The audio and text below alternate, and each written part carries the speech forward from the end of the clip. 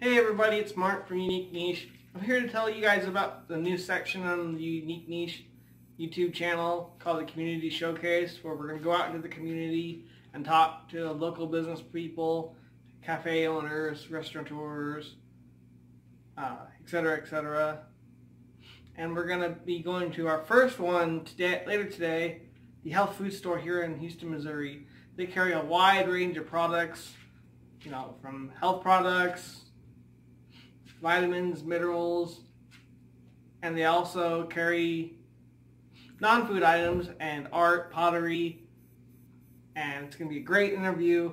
I can't wait for you guys to see it. Check it out. And as always, you know, don't forget to like, comment, subscribe, ring the bell, keep talking, keep discussing, make us, let's get, let's get bigger.